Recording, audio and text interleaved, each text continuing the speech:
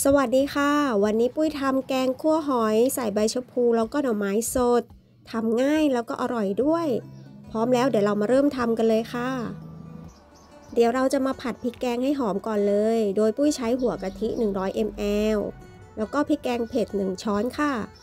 จากนั้นเราจะผัดให้กะทิแตกมันแล้วก็พริกแกงหอมเลยนะคะ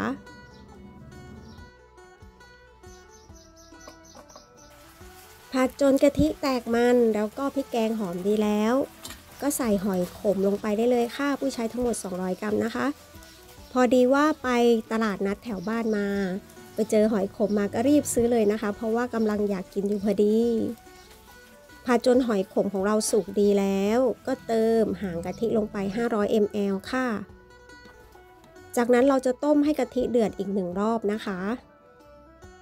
พอกะทิเดือดเราก็จะมาปรุงรสกันเลยค่ะ ใส่น้ำปลาลงไป 1 ช้อน ตามด้วยน้ำตาลทราย 1 ช้อนชา ซีอิ๊วขาว 1 ช้อน ในส่วนของน้ำตาลทรายถ้าใครไม่ชอบก็ไม่ต้องใส่นะคะ ชิมรสชาติตามที่เราต้องการ พอ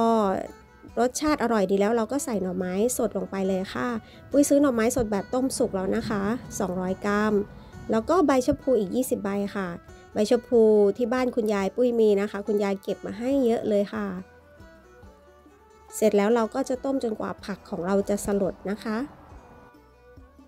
เติมพริกชี้ฟ้ากับใบมะกรูดลงไปด้วยค่ะ เพิ่มความหอม